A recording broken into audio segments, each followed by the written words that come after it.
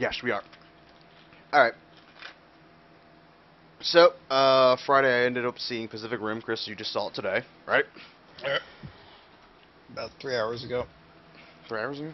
Uh, Oh yeah, four. yeah. I forgot. Something time. Yeah.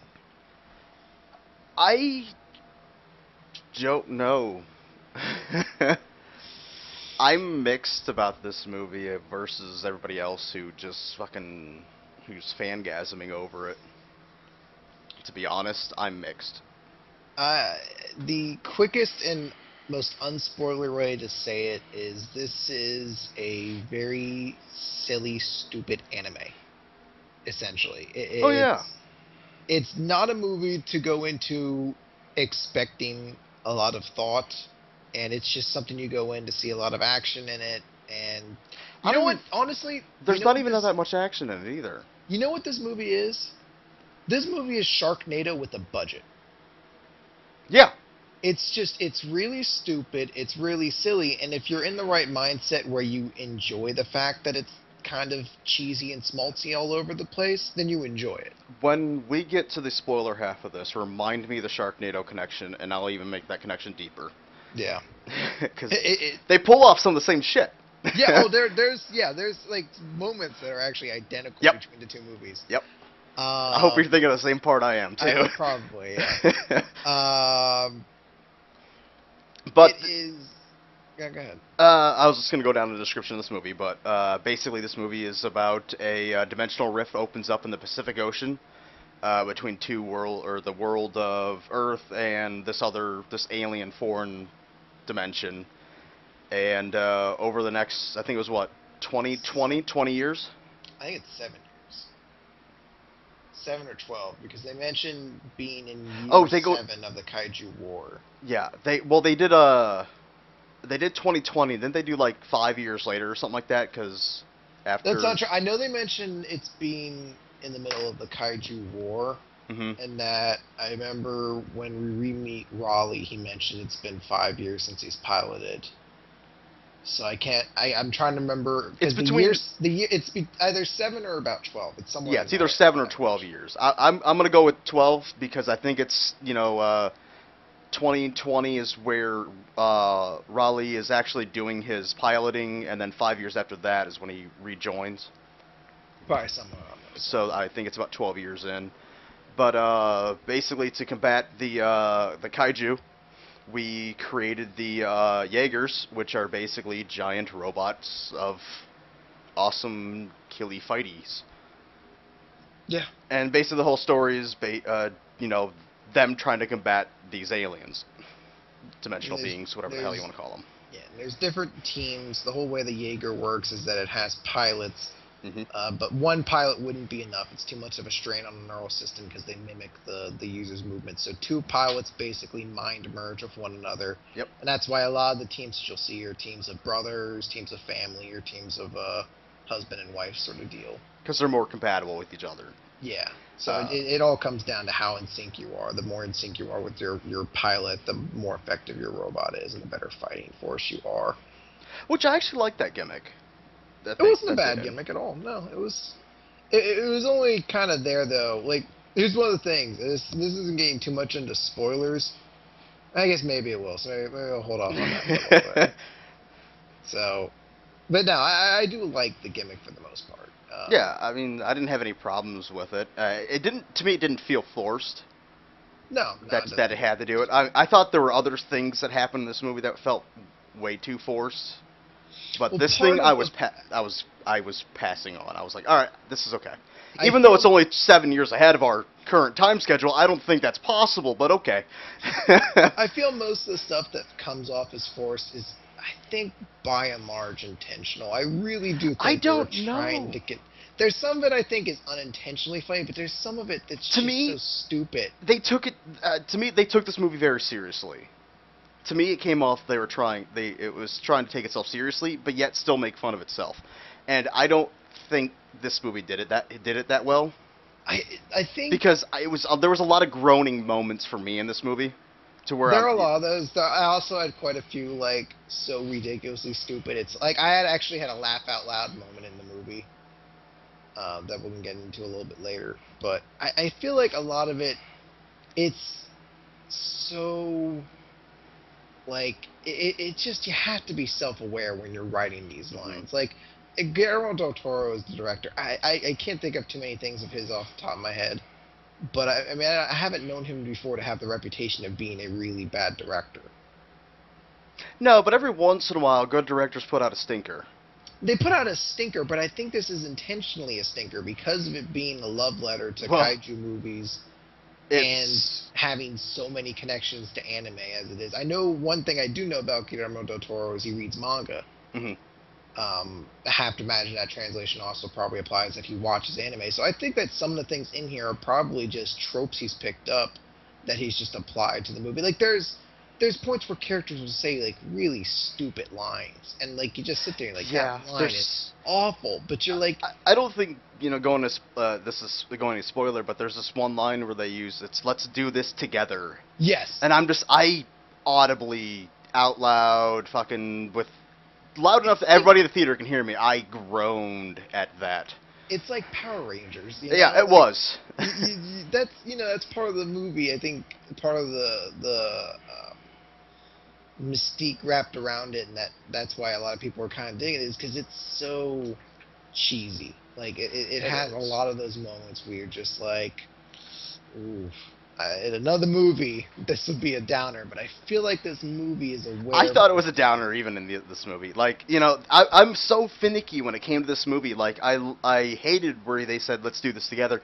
And I love the parts where they had, they basically said the power they were using before using every power. Rocket Punch. Yeah, I fucking ate that shit up. But when it It's- came to the, the really silly, stupid, you know, shit, I just couldn't do it, you know? Here's one thing I will absolutely agree on. This movie, if it was intention to be so stupid it's good, has difficulty crossing the border or balancing on the line between that and just being so stupid it's stupid. Mm-hmm. Because the first act of this movie was so su- stupid it's stupid to me. I just I couldn't stand it. The costumes just looked fucking ridiculous.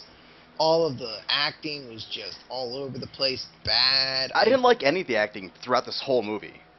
Yeah, I, I, I literally thought the the little the girl uh the little girl who plays uh there are flashbacks about the the the Mako. Mako. Uh, I thought the little girl played Mako better than the actual actress who plays her throughout the rest of the movie plays I'm just shocked they managed to find a little girl with as obnoxious a voice as the actual Mako. yes. Every character in this movie has something that's really weird with them. Like the main character, uh, Raleigh, is played by Charlie Hunnam, but I'm 90% sure it's actually played by Zach Braff, and they just didn't want to pay him, so they used a different name. Because I swear, you put black hair on this guy, he's Zach Braff. And I could not look at certain scenes in this movie and not be like, why is JD here? Um, Where's Turk? Idris, Idris Elba's in the movie, or as I like to call him, Stringer Bell, because he only is going to have ever one role for me. Um, and Stringer Bell in this movie, not not his finest role. No. I, I think a lot of it is a script. He's he's he's put into the role of like the strict military. he like, tries. Johnson, you've you you've saved the day, but you disobeyed orders to do it. he And I tries. don't take that insubordination. it's like it, he has to be so angry. Like his character is the most irrational douchebag. Fuck yeah, he is. shitty and mean and Half the stuff he does like- doesn't make sense. Yeah, you're just like, why are you being this shitty and mean? I don't understand it. Like he just gets angry and yells at a lot of things. He's like the uh, the the uh, chief in any police movie you've ever seen. exactly. He's just he's the guy who's just like, I can't handle these loose cannon cops. Yeah. Except the loose cannons in this movie are, Are- people who are like, oh, I'm gonna save this ship full of people. He's Yeah. just like, oh, I told you not to danger the mission. That's the Aussies, not the fucking other guy. He's just yeah. Uh, it, it's very strange in that way. Um, he plays Stacker Pentecost as his character's Yeah. name. I love these names, by the way. I, I, I didn't know I didn't know half of their names uh, when I left the movie, but looking going through back through IMDb, I'm just like, these were their names. there was a Doctor? Newton Geyser or Gisler. Gizesler. Oh, I had to get to him. Uh, God, Doctor Newton, played by Charlie Day. Um, awesome! I love Charlie Day. Um, not- I do not like Charlie Day. I do. I, I can I can tolerate him in very small amounts, but I hated him in his. he was Just- amazing in Horrible Bosses. He's okay. I, I like him, and it, it, it's it's it's just a matter that he just his voice gets on my nerves very quickly. Yeah, it can. So if if I have to listen to him for a very prolonged amount of time, it just sounds like it gets higher and higher. I imagine I imagine the same way I sound to a lot of people. Like, but oh my god. when it comes to this This movie, puberty. Charlie Day plays the same character he was in as he was in in Horrible Bosses, Well, he except he's a the same scientist. character and everything. He's Yeah, he like, does. He's the hyperactive. Yeah, uh, hyperactive, kind of cowardice, over enthusiastic. yeah. Yeah, he's the same guy and everything. No, not bad. I think if you like Charlie Day and anything else, you'll like. him. Uh, I didn't like him here. I, was not, I was not a fan of him here. Uh, main female lead is uh, played by Rinko Kikuchi, Mako, and it's so weird because I had to listen to an interview of her to be certain, and Mhm. it's her actual voice. She does not talk, I believe, with any put-on accent, and it's so weird because this is the only like the the most recent event I could think of where I'm like, wow, stereotypes really do exist because she sounds like a Family Guy impersonator doing an Asian woman's voice, like, "Oh no, Rowie, we have to hurry up and save the Pacific Rim." like it's so, it's so, like the accent is so. well, that and she speaks so softly sometimes. Yeah, I mean, it's typical for you know uh, Japanese and, and Chinese culture that they you know women are very soft spoken, but for a film, you kind of don't want to do that because she's there are some things where you're just like, what what did she say? Damn it, because it better not have been important because I didn't hear a damn thing she said. Like, oh, stack of Is dying. it's just every time I heard her voice, I was just like, wow, that is. It's. I thought she was putting on a fake accent. I was waiting to see her on like David Letterman. She's just like, yes, I thought Pacific Rim was a particular. just comes out this very distinguished British yeah. accent. she just put on like a super racist accent for the movie, but I'm like, no, it's how she actually talks. Um, Sorry. her voice can get a little grating throughout the movie as well, but I, I just wasn't a fan of any uh, like I don't I don't know if I don't know many of these actors outside of the guy who plays uh, Herc. Uh, I didn't know many of these actors uh, there's two actors. And Charlie Day. Okay, there's Charlie Day. There's also Ron Perlman, who's in this. Yeah, movie I got Ron Perlman, but I don't give him. A, I don't. as Hannibal Chau. I Hannibal Chau was the one point in the movie where I was like, this is far too on the nose, Guillermo del Toro. This is too self-aware of yourself being stupid. Have you seen Hellboy, uh, The Golden Army? Or no, I've seen the first Hellboy. I haven't seen much of the second one. Okay, it, it the way he dr- was dressed and the way he looked reminded me of that movie. With Yeah, those I uh, mean- golden pl- or those golden boots or whatever silver boots it's- that he it wore. Was, it was it was like classy dress shoes, but he had like gold plating on them. on Yeah, the front. Those were awesome. I'd like to have those. and then he had um, he had like big weird kind of robot monocle fucking looking things over his eyes. hmm He wore like a big loud red suit, and he's just so unnecessary to the movie. Oh fuck yeah, he was. He has like his. Well, that's we, we needed him for the B plot, you know. Yeah, they, they Well, the C, B or. C or D plot that they had going on in this movie. There's so fucking Is- many. Yeah, they had to have him there in some aspect, but he is he's very much a uh, a character I was not a, fa- uh, a fan of. Um, but I think at this point we probably might want to hold off on talking too much further because I think Yeah. we're going to start getting into spoilers at this point. But one thing I do want to say, I think this movie would have done a lot better if they would have cut out like 20, 30 minutes of this movie. That's strange because I actually think this movie could have done being longer. I don't think so. I to me, I feel they like- they s- they stayed too long on plots that or they. The, the problem I think managed time then because I feel like my one of my biggest problems is that the movie starts off extremely slow. I feel like we should have gotten one full kaiju fight before we got to the kaiju fight we did start the movie with. I still liked how this opened up.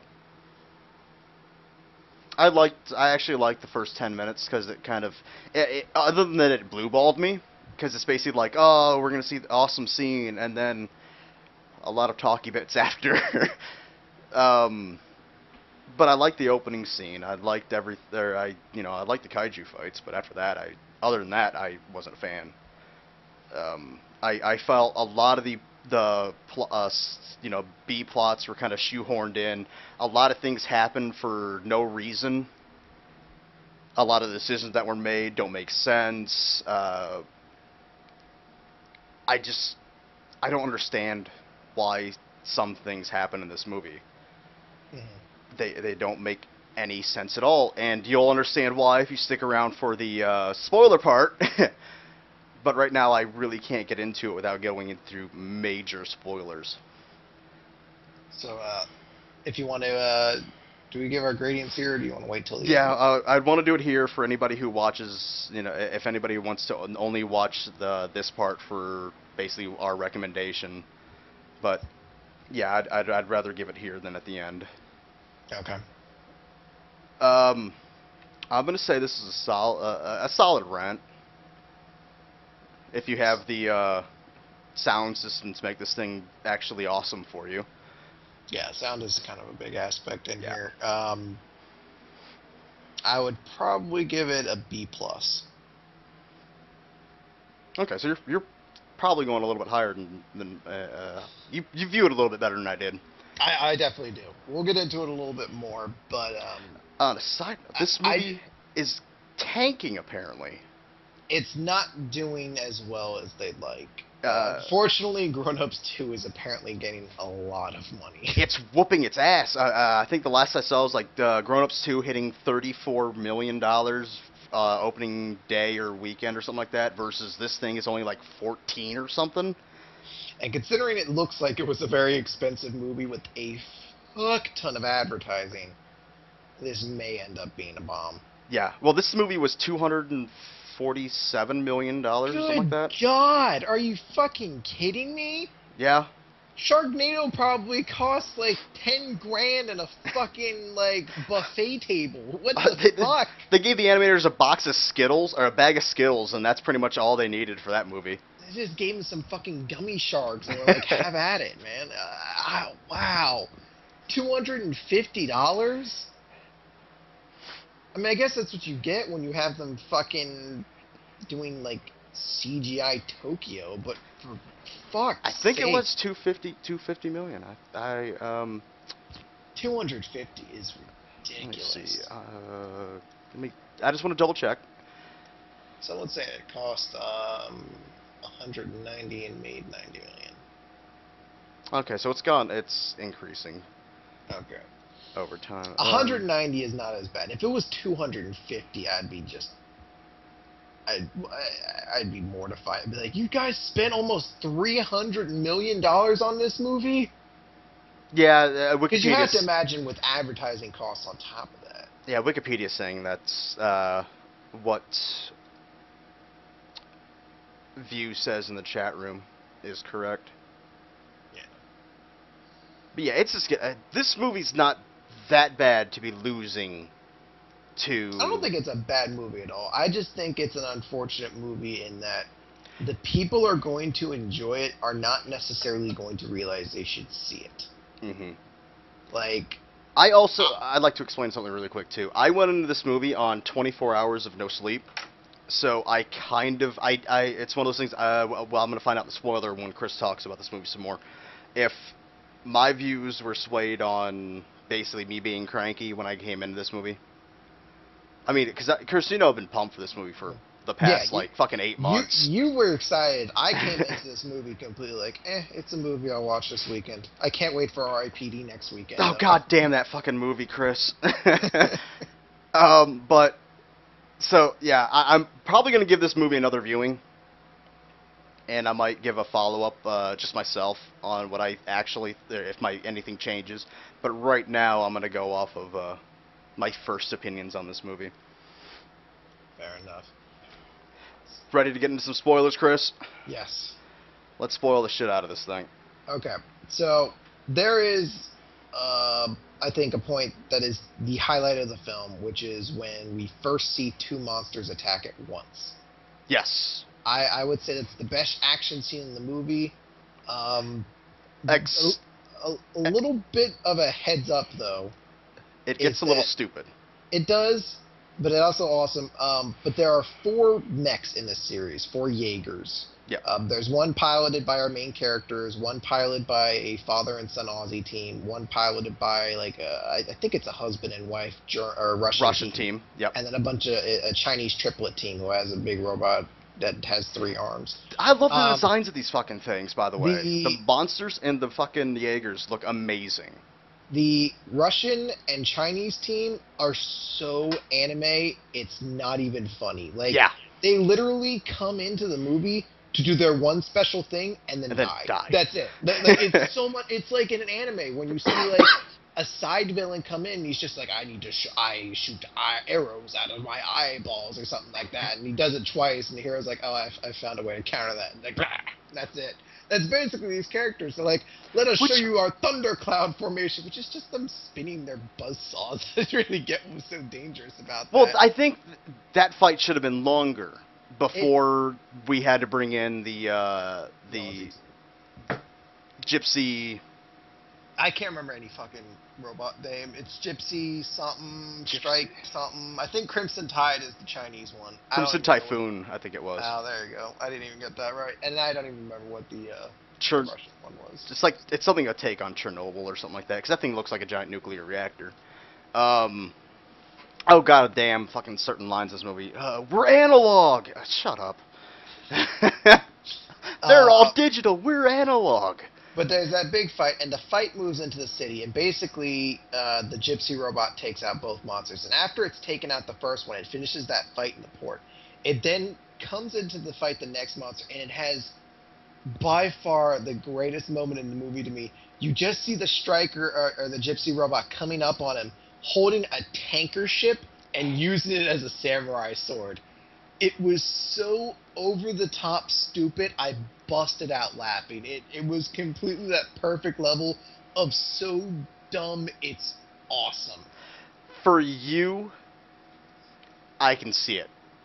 It- For me, it irritated the shit out. Because when I saw that, I literally looked over to my uh, my friend and said, "Boats don't have that kind of structural integrity to do that." It's not about the structure. I know integrity, it's not. It's about the fact he's wielding a fucking tanker ship. I know it's not, but here's the thing: when it comes to a movie, you're supposed to be able to suspend your disbelief. You know, if it's a good movie, and that uh, that scene just annoyed the fuck out of me. I mean, That- we hold on, hold on. We've es- no, no. We've established he has a goddamn motherfucking sword attached to his arm, yet he still brings a boat to the fight.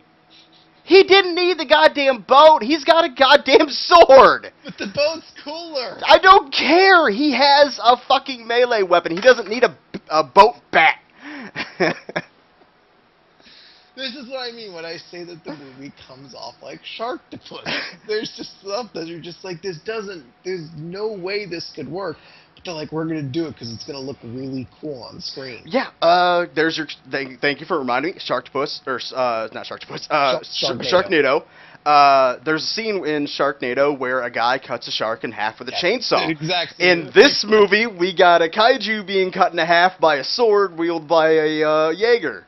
Awesome scene in both movies. That's the sort of thing. It's it's just a ludicrous, over the top thing that either hits a moment where you're like, you're either gonna appreciate because it's so silly and over the top that you're like, that's awesome, or you're just gonna be like, that's stupid. And it really is gonna go either one way or the other. It, it just comes down to how much you like things that you're like, that was really silly, but I don't care. It was amusing because it was bad, or it was awesome because it was, you know, over the top. I, I'm a large kaiju fan. I, you know, I'm a. I've seen and own every Godzilla ma- movie, ex- uh, including the fucking uh, U.S. made one, which um, that a fucking abomination. Um, but I'd like to see uh, Del Toro. Is that who did this one? Yeah. I'd like to see him do Godzilla. I I think he can pull Godzilla off, even though uh, they're already making making it, and I don't think he's attached to it at all. I have no idea. It's a shame, but um, I, there's just certain things in this movie that just uh, you know, annoy the shit out of me. There's the uh, there's this whole subplot of the uh, the uh, guy playing by played uh, by um, Idris Elba's character. Idris, yeah, um, you mean Idris Elba? Idris Elba. Yeah, Idris Elba is the, the person. Yes, I know, but I'm trying to remember his character's name in this movie. Just call him Stringer Bell because it's the only Pent he ever Pentakill. Pentakill. I Pentakill. it's, I think it's Pentecost, isn't it? Pentecost. Uh, Stacker Pentecost. yeah. Pentecost and the uh, and uh, Mako. I mean, am I crazy in that I figured out what was happening between them in like the first five seconds of them being on screen with one another? Well, yeah, it's it's not that hard to figure out what's going on. But the thing is, is that um, he's you know the whole movie is basically you cannot pilot, and then it's you can pilot, and then it's like no, you cannot pilot anymore, and then he's like okay, now you can pilot because we've lost four or uh, five pilots. I, I, you, I, why? Why do we need a fucking whole subplot that's just mind-numbingly boring for me? To where It- it all he's gonna do is just go back on everything he says. It doesn't put him in the best light as a character. Um, He's an idiot. you, you, you don't really get much reason to like it. It's just a lot of things in his character just seem to be like sudden. Like here's the thing: I, I look at this movie as though we're like a 12 episode anime series hmm because that's kind of the way it feels structured. You kind of get your big climax episode in around episode 10, and you have to do your finale. You know, like if you, if you spaced it out, this is the storyline that could easily fit something like that. Yeah. But because this is fit into a two-hour movie, it's only about two hour, fifteen minutes or something like Two that. hours, eleven minutes.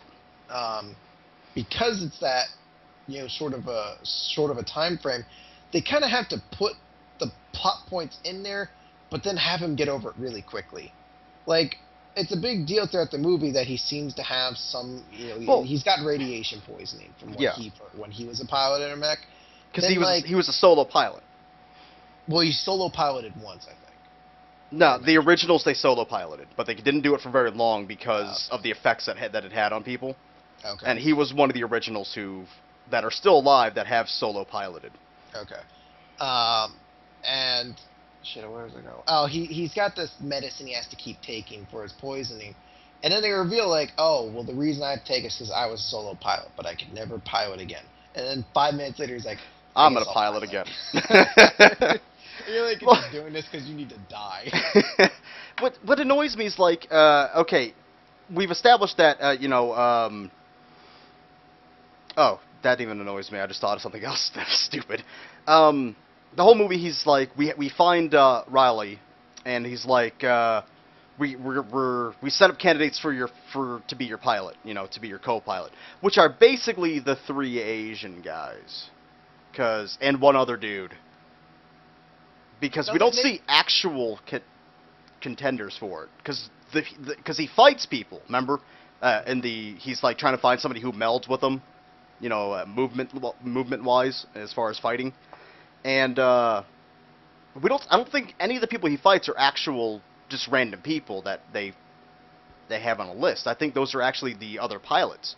no, uh, maybe you coming off as a little bit racist, but I'm pretty sure there's the three other characters who just have to be Asian as well, because the center is in Hong Kong. They wore the same red jumpsuits. They didn't really wear jumpsuits. Yeah, they did. I could have swore they did. If not, oh well. I like I said, I went into this movie 24 hours tired. Okay. So, I some details may have been lost upon me, but to me they look the same. Because I know there was one white guy he fought at the beginning, and then an Asian guy, and then he fought uh, Mako. Um, but during that whole thing, we find out, you know, that she's. Uh, I think even before that, we find out Mako was supposed to be his co-pilot. Uh, she she's told a him. Really creepy stalker fangirl. That's her. Yeah. That's the way she comes off at first. She does. She she feels typical typical anime. Yeah. like where she watches them through the uh, the uh, door. peephole and stuff like that. Um, but uh, we find out that that uh, his the character said, you know, uh, you're going to be his pilot, and then when they find him, he's like, you cannot be his pilot because of the things that happened, you know, 20 years ago or something like that. And then she becomes his pilot. The weirdest part is after because they explain the whole reason they're doing like the combat is because the combat's not supposed to be I'm gonna beat you. It's Mm-mm. supposed to be a dialogue. It's supposed Yep. to show how in sync these two people can be. Yep. And because she gets so in sync with him, you know, they're like, oh, well, that must mean she's the best candidate. And Idris Elba's like, she will not be your candidate. You will meet your pilot today at two. And then two comes around and she walks into the room and like, oh, I guess Idris Elba just made you the candidate after all.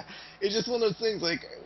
I see. I don't. Under, I don't understand why that's in the movie. If that's if you know none of that made none of that had a point to it. You know, at all. Yeah, and uh, They her coulda- entire her entire plot is is wrapped up basically at the end. Like they find that I guess when you meld your your memories, you, you see everyone else's entire life basically. Yeah, you And live the memories of the other person. Constant while you're piloting the mech, so it's possible to have one person have a memory come up, and that will put you off sync with somebody else. And the the whole thing is you're not supposed to quote unquote chase the rabbit. You're not supposed to get lost in what is a memory hmm she gets lost in the memory of where she was a survivor of a kaiju attack after her family was killed, uh, and she got very close to being killed by a kaiju. The entire fight basically took place a block away from her, and she, you know, she has this trauma. She's constantly being warned vengeance is not the correct path, things like that. She gets over it in this scene, and never comes up again. It's never an issue again that she's going to get lost in her memories. Well, they they they uh, they do uh, they do ground that team uh, because of that incident, and only put them back on the field because they lost two mechs and five pilots. yes. Which that whole fucking thing doesn't make any sense to me either. You see two level four kaiju. By the way, they rank these by one to four. Um, actually, one to five, but you don't get a number five until the very fucking end of this movie.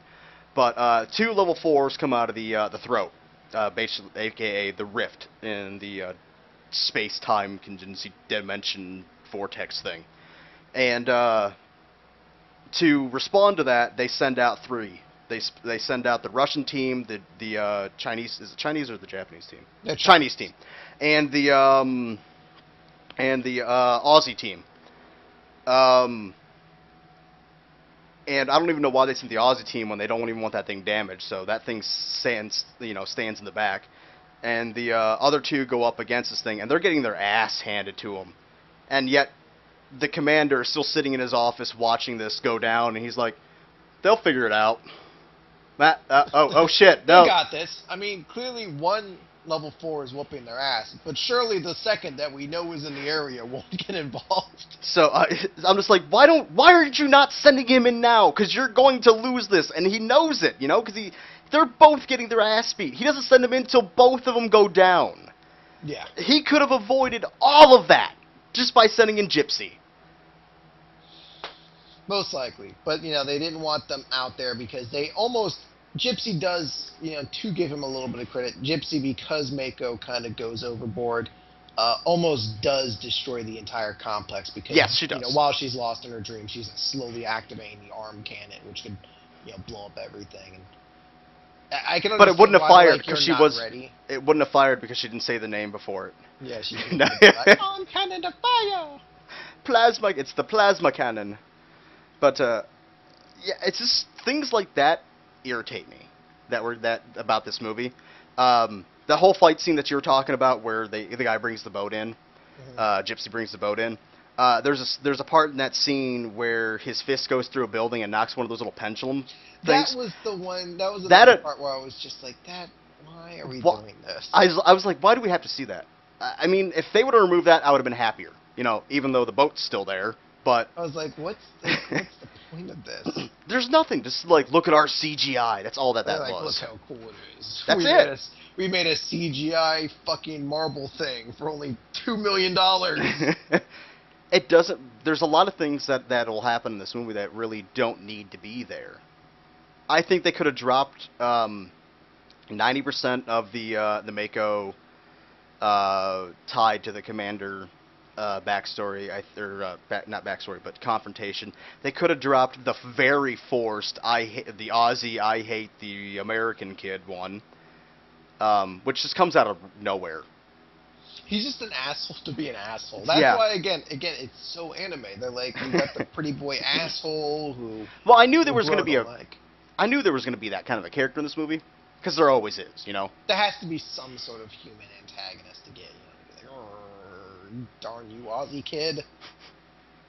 By the way, I like the Aussie team by far the most and out of all these guys.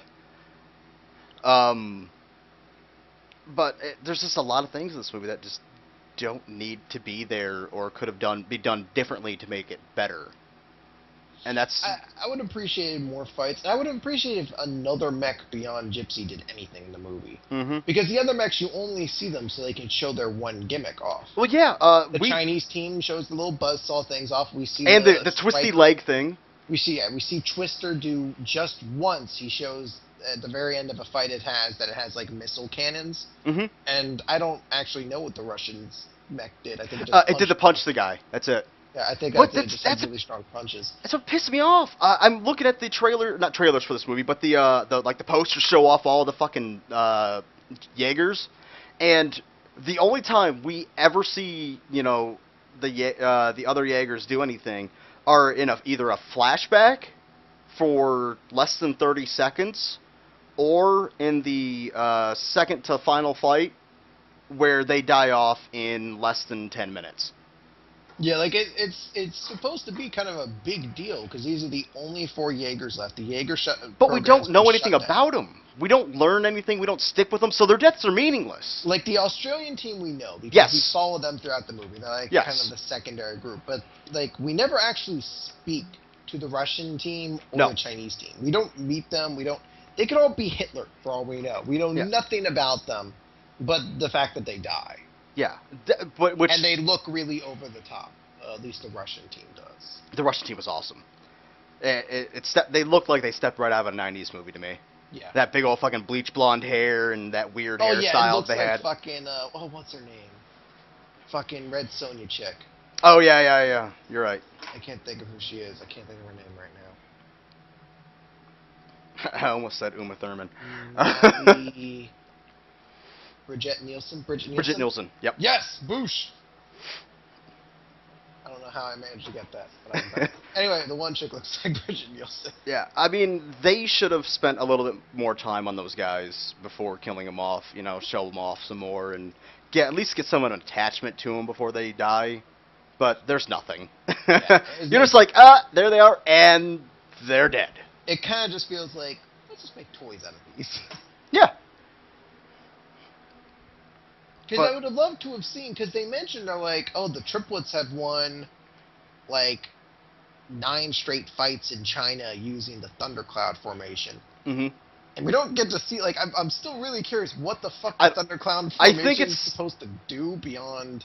Have buzzsaws come out of your hands. Yeah, like, I, there's a point where, like, the, the one they're fighting uses its hands and grapples with it. I'm like, oh, okay. So the third hand's there to cut into the monster while it's doing it. Third hand just fucking sits there while he gets thrown all over the place. It's like, oh, I don't know what the fuck the thundercloud formation is anymore. I don't think they they sh- I think they showed the setup for it, but they never actually showed what the, what it does. Yeah, I- I'd love to see what it does because it's supposedly a big deal. And uh, the Russian one is supposedly a Mark One unit. yeah, that thing's a beast. It's slow as fuck, but the thing's a tank. Yeah, so I'd have loved to have seen what that does, but yeah, you don't get to see it. Just, Because that thing's basically a boxer. Mhm. You know, that thing's just there to pummel you into submission. But yet it punches one guy, then gets his ass blown up. yeah, more or less. Yeah. But yeah, I mean, I I like the fight scenes. I just thought they were few and far between. And the uh, the talk- action's great. I, I Yeah. cannot say there are some really like there's a, a flying uh, kaiju who uh, picks one of the mechs up and is flying over the city, just dropping them into the tops of buildings as Yep. it flies across. Like really cool shit like that. Stuff that you can tell Guillermo del Toro probably had a vision. He's like, I want these action scenes to be really cool looking. But it looked a little the shit funny missing its tail. It, it, it's just it's it's good action for the most part. I, I can't think of a lot of times I was like, this is just fucking, uh, this is awful because it's not shaky cam. It's clear. You're able to, you know, it's tough to see some things just because a lot of battles happen in the water at night. So Yeah, the see- darks, the colors kind of don't lend themselves well. But- I was talking to uh, Tyler about this movie uh, this morning, and I'm like, uh, see, even this movie gets it right uh, when it comes to protecting the people versus Superman. I was like, yeah, this they still they did all most of the fights in the fucking ocean. in the ocean or in the harbor. Like a fight does go into the city at one point, but it starts off when it first enters into Tokyo or Hong Kong. Mhm. The they take the fight to the harbor, so it's still in the city, but not like metropolitan area. Yeah. You know, uh, the city definitely has a lot less collateral damage than Superman, uh, Man of Steel. I, I actually do think this movie less people died in this movie than Superman. Probably. I feel like Hong Kong could much easier reconstruct itself than Metropolis is going to have to after Man of Steel. I don't know. Lex Luthor's got a lot of money. I just feel like it'll be easier to fix. Like all you have to do is like, all right, fix that building over there, fix that one, buy buy that new buy that guy some new fucking office clicky clack ball thing. And, uh, no, because it wasn't damaged. It's I perfectly think fine. they broke that building afterwards. Did they? Oh yeah, they did because the uh, kaiju pushed them through it. I think Yeah. I think so. But it's Um, funny is that when, like when you see them being pushed through buildings and stuff like that, the buildings are empty though. Yeah. Because before every fight, there's a uh, basically a, an air war, an uh, air an air siren, an air raid siren that goes off that allow that lets people go into these underground bunkers, which they established in the other in another scene. Thank you. Uh, but it was with a character I didn't give one shit about. Yeah. um, okay, Uh, one one thing I just want to bring up sure. because it was very strange to me. I got two points, and then I think I'm done. All right. Uh, this will be my last one. I just need to point out because this is honestly one of the weirdest, maybe one of the most disturbing things I've ever seen. There is a kaiju they kill, and they're examining its body, and they realize, oh, this kaiju is pregnant, which I don't get because they explain that They're kaijus clones. were clones to begin with. So I don't know why you'd send in one that's pregnant mm-hmm. uh, unless that was like a weapon of it. It's just that poops out more of it as it's flying. But the weird thing is because it's pregnant, the embryo basically comes out and tries to attack and strangles itself with its own umbilical cord. And I realize they're monsters, but it's still really uncomfortable to basically watch a stillbirth happening. Yeah. It was one of those scenes. It's like I, I kind of get what you're going for, but this is really unsettling right now. Wrong placement for that movie. Yeah, I was like, I couldn't just someone blow its head open with a tank. Why do I have to watch it literally strangle itself with its own umbilical cord? Yeah. so there, that, that's you win some, you lose some with this movie. but um, okay, we're going right to the ending for these for my two uh, nitpicks here. Well, not nitpicks, uh, questions. Um, they established in this movie that the only way to go through the throat is with the corpse or the DNA of a kaiju. Mhm. because the the throat recognizes what's going through it because they've uh, attacked the throat before and it just shoots whatever they put at it back out. It rejects it. It rejects it. Um, so they go through the throat, holding on to the uh, the body of the uh, Type Four or Type Five that comes out. Um, oh, by the way, speaking of that fight scene, I love when that uh, when the other one detonates itself. Uh, the Aussies, the striker, detonates himself, and it created that uh, vacuum, or not vacuum, but a dome of actual oxygen underneath the water, and you see the fish fall down. Yeah. I got confused when I saw that. and I was like, oh, okay, that's what's happening. I actually really like that. Um, but moving on. Uh, as I said, they they they use the body to go through the throat, and they get down to the they get down to the bottom, or on the other side of the uh, throat in the alien planet. Right, and uh, he ejects uh, Mako's uh, life pod basically because she's passed out or something like that during the fight Yes. and uh, she goes through the throat, comes back out, and then he detonates uh, Gypsy uh, as he ejects, and he goes out. Um, how do they get out if they needed the DNA of a fucking kaiju? I understood Mako, I think, because she he lets her out basically as soon as they get through. Uh-huh. But what I did not get at all is how he makes it out, because that happens like five minutes after. I was like, how long is this fucking gate open for? Yeah. like you think Because the gate it. can't open without a kaiju in it. Yeah. There's no kaiju in it. Because they bring that body with them. They use that to get through it. How they how the fuck did they get out?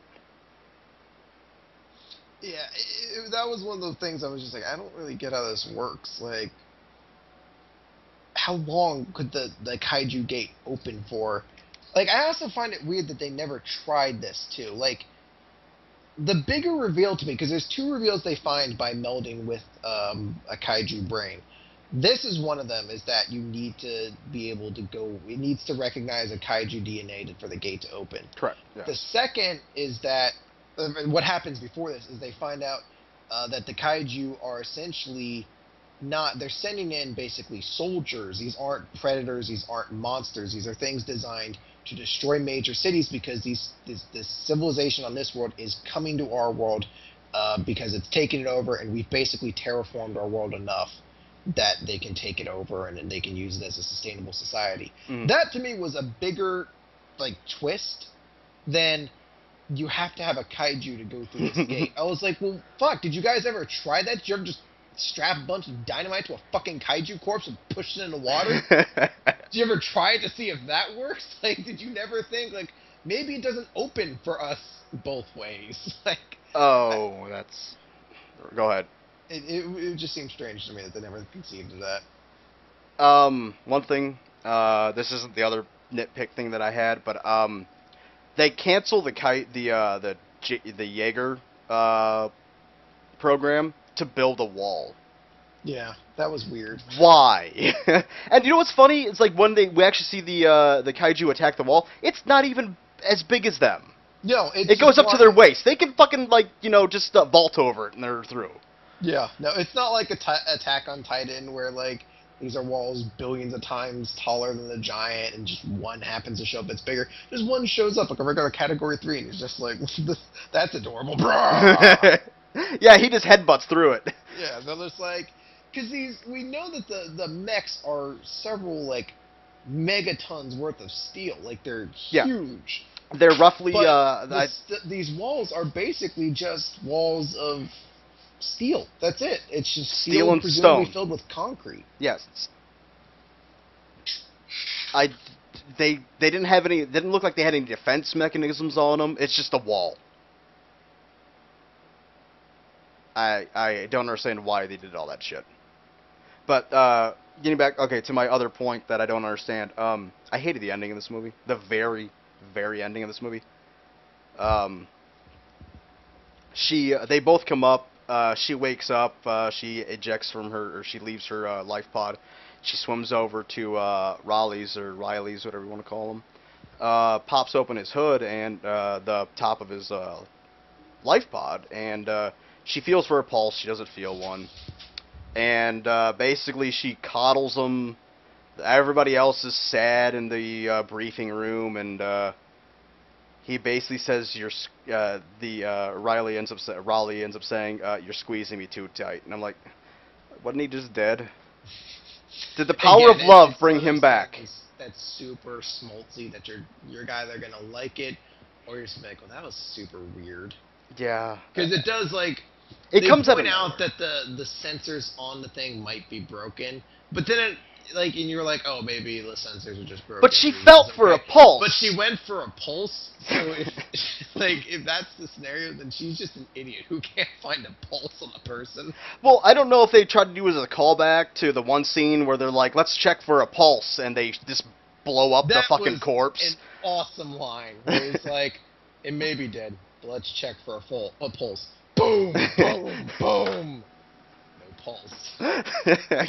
I groaned at that too, but I I, I didn't think it was nearly as bad. line. I didn't think it was nearly as stupid as as the oh, other no, things. that line was I- fucking glorious. it was so cool. But uh, yeah, I mean, there's a lot of things in this movie where I was like, oh, okay. Uh, w- I'd see it again, uh, but I wouldn't see it again in theaters. I well, actually, no, I I'm not gonna say that because I am going to see this again in the theater, not because I, you know, love this movie, but because I want to make sure my opinions are what they are. That you're true to yourself. I want to make sure that I'm 100% sure on this movie because, you know, 24 hour, you know, going a whole day without sleep, will affect your mood going into a movie that's two hours and eleven minutes long. Oh yeah. Because I think I don't know if uh, did this movie have uh I I thought this movie was very talky. Did it feel that way for you? As the first act is where I was kind of like eh, on the movie, and I was really negative on it, and that's where I think a big bulk of the actionless talking comes in. It's Mhm. kind of once the second act starts that things it, it is a lot of talking. There's there's not a great ratio of talking to action, but I can understand why it's Uh, cheaper to you know shoot somebody talking and create a narrative that way than to just do everything with a bunch of CGI fights that are ultimately going to be 100% computer animated. by the way, that first kaiju attack, uh, or the one that they show uh, against uh, San Francisco, I believe it was. Um, that CG looked terrible. Like where they show him ripping the bridge in half, and you see the the cars on the bridge fall down. Uh, that looked terrible. But the rest of the movie looked great. Just that one scene looked terrible to me. Uh, Uh, just the stuff with the bridge. I, I didn't think the kaiju looked any bad looked bad at all. I just thought the animation of the cars and the bridge itself looked bad. yeah, it's possible they may have been like, all right, the kaiju looks great. Oh shit, other stuff. Fuck it, who cares? Yeah, it just looked it just looked too fake for me. Uh-huh. It's fucking CGI. It's it's gonna be fake. I know, but still. Like I want it to be less fake. yes. They're giant monsters fighting uh, cities. Uh, okay. I think the only kaiju that I actually hated was the one that looked like a crab, because uh, the the kaiju's uh, were had great designs to them, to where they look. Uh, some of them look like things that are actually from Earth. You know, some look like a hammerhead shark. Some look like uh, One looked Uh, like a gorilla. yeah, this one looked like a crab. But the uh, the way that the they look, um, they don't look too much like the thing that they are supposed to look like. But the crab just looked like a giant crab.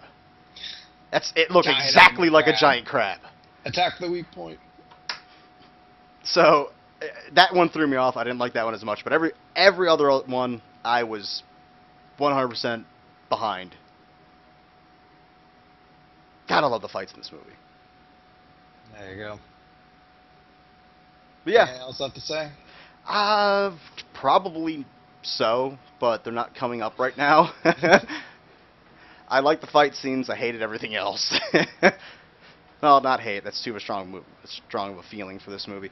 Um, I was just eh on everything You were else. displeased by everything else. Yeah, I, I, I felt like I, uh, as I said, I think I said before, I felt like I, uh, this movie blueballed me a lot. I definitely don't understand the the immense internet hype on this movie. Um, Well, the people who've seen it love this movie. yeah, there are people. I can who see why. Just love it. I could see why. I'm not, you know, Yeah. talking down on anybody or something like that. I could see why. It just wasn't what I was thinking it was going to be. Yeah, it, it is definitely one where I'm just like, I like this. I just don't understand. Like, I think it's very similar. I have not seen Scott Pilgrim versus the World, but it, it, it feels like a similar mentality of everyone on the just like, this is the most movie ever. Because, I mean, this is a movie that appeals to nerds, you know? Hmm. The cheesiness is, you know, the Sentai, Kaiju, anime. It's, it's all these things about Japanese culture that a lot of nerds really dig and it has kind of the same stuff you'd also be able to like from like an 80s action movie and shit like that in there so i can understand why people like it on the internet it's just it is really high like i understand people being like i'm shocked this is making less money than grown-ups too but i also do feel like people need to curb their enthusiasm a little bit because this is a movie that spent a lot of money to appeal to a pretty small audience to be fair Well, this doesn't just go to that. I mean, this goes to like the, uh, you know, this will go to the alien invasion crowd, the uh, uh, world-ending crowd. I think uh, it just it reaches the more. apocalypse is cancelled I hated that line. I still hate that line. That speech was terrible too. I was hoping it was gonna be bigger than what it was, but no. it just kind of fell flat on me. But overall, yeah. Uh, if you like giant monster movies, this might be a good movie for you. If you can uh, uh, deal with all the other subplots that you know don't necessarily need to be there. Um, but if uh, if you're still on the fence about this movie, just rent it. It's it, it it'll be a good solid rent. Uh, Chris, you gave it a B plus.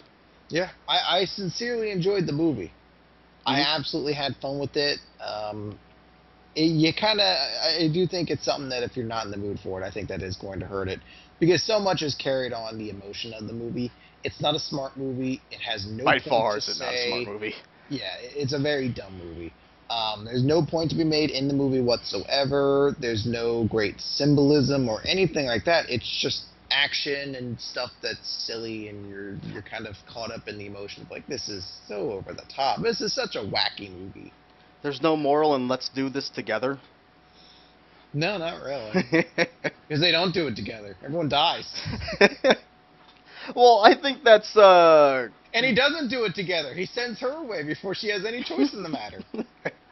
He does it by himself. He does it entirely by himself.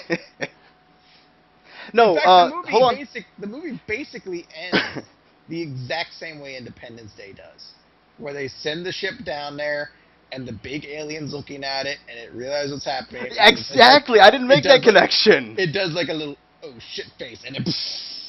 the alien even some- looked like it. Yeah, and A little somehow- Somehow, fucking Raleigh's little fucking lifeboat outruns a nuclear explosion. I don't understand how that happened, but whatever. Well, it only it had five. I think it was five seconds to get away from there. Yeah, there's no way. Yeah, it doesn't have much of a lead on everything else there, but he makes it out. Yeah, there was something that just came up that I wanted to say, but now I just completely lost it. Now that I realize that this movie's basically got the same ending as Independence Day. Fuck you, Chris. but uh, I hope you guys enjoyed uh, the exposition dump for today, uh, for this week. Uh, next week we are doing R.I.P.D. Don't act so fucking depressed. It's gonna be fun. I hate you. It's gonna be fun. Why do you hate me? It's gonna be fun. I um I doubt it. But uh thanks everybody. We'll see you next week for our uh, RIPD. It's gonna be fun. Good night. Look at, uh, to me they took this movie very seriously. To me it came off they were trying they it was trying to take itself seriously but yet still make fun of itself. And I don't think this movie did it that it did it that well I I think because I, it was uh, there was a lot of groaning moments for me in this movie to where there are a lot of those. I also had quite a few like so ridiculously stupid. It's like I had actually had a laugh out loud moment in the movie. Um, that we can get into a little bit later, but I, I feel like a lot of it, it's so like it, it just you have to be self-aware when you're writing these Mhm. lines. Like Guillermo del Toro is the director. I, I I can't think of too many things of his off the top of my head, but I, I mean I, I haven't known him before to have the reputation of being a really bad director. No, but every once in a while good directors put out a stinker. They put out a stinker, but I think this is intentionally a stinker because of it being a love letter to Well, kaiju movies It's and having so many connections to anime as it is. I know one thing I do know about Guillermo del Toro is he reads manga. Mhm. Um, family or teams of uh, husband and wife sort of deal. because they're more compatible with each other. Yeah. So Uh, it, it all comes down to how in sync you are. The more in sync you are with your, your pilot, the more effective your robot is, and the better fighting force you are. Which I actually like that gimmick. That It they- wasn't a bad gimmick at all. No, it was. It, it was only kind of there though. Like here's one of the things. This this isn't getting too much into spoilers. I guess maybe it will. So maybe, maybe I'll hold off on that. for a little bit. So, but no, I, I do like the gimmick for the most part. Uh, yeah, I mean, I didn't have any problems with it. Uh, it didn't, to me, it didn't feel forced No, no that it that it had to do it. I, I thought there were other things that happened in this movie that felt way too forced.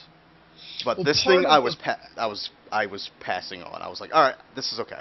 I Even though it's only seven years ahead of our current time schedule, I don't think that's possible. But okay. I feel most of the stuff that comes off as forced is, I think, by and large, intentional. I really do think I don't they're trying know. to get. There's some of it I think is unintentionally funny, but there's some of it that's To just me- so stupid. they took. Hmm. And that I remember when we re-meet Raleigh, he mentioned it's been five years since he's piloted. So I can't. I, I'm trying to remember. It's the between- years. The year. It's be, either seven or about twelve. It's somewhere. Yeah, it's either seven or twelve years. I, I'm I'm gonna go with twelve because I think it's you know uh, 2020 is where uh, Raleigh is actually doing his piloting, and then five years after that is when he rejoins. Probably somewhere. So I think it's about 12 years in. But uh, basically, to combat the uh, the kaiju, we created the uh, Jaegers, which are basically giant robots of awesome killy fighties. Yeah. And basically, the whole story is, ba- uh, you know, them trying to combat these aliens, dimensional beings, whatever the hell you want to call them. Yeah, and there's different teams. The whole way the Jaeger works is that it has pilots, hmm uh, but one pilot wouldn't be enough. It's too much of a strain on the neural system because they mimic the the user's movement. So two pilots basically mind merge with one another. Yep. And that's why a lot of the teams that you'll see are teams of brothers, teams of. You're in the right mindset where you enjoy the fact that it's kind of cheesy and schmaltzy all over the place, then you enjoy it. When we get to the spoiler half of this, remind me of the Sharknado connection, and I'll even make that connection deeper. Yeah.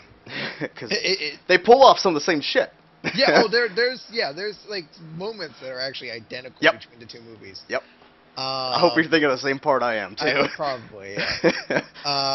um, but it is.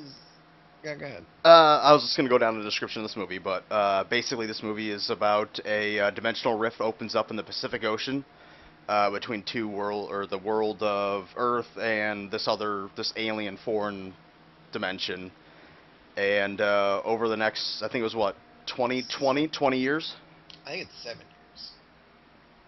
Seven or twelve, because they mentioned being in year Oh, they go- seven of the Kaiju War. Yeah, they well they did uh they did 2020. Then they do like five years later or something like that because after That's not true. I know they mentioned it's being in the middle of the Kaiju War. Yes, we are. All right. So, uh, Friday I ended up seeing Pacific Rim. Chris, you just saw it today, right? Yeah. About three hours ago. Three hours ago. Uh, Oh yeah, four. yeah. I forgot. Something around that time. Yeah. I don't know. I'm mixed about this movie versus everybody else who just fucking who's fangasming over it. To be honest, I'm mixed. Uh, the quickest and most unspoiler way to say it is this is a very silly, stupid anime. Essentially, It- Oh, yeah. it's- It's not a movie to go into expecting a lot of thought, and it's just something you go in to see a lot of action in it. And I you know what? Honestly, you There's know not even this- that much action in it either. You know what this movie is? This movie is Sharknado with a budget. Yeah, it's just it's really stupid. It's really silly. And if you're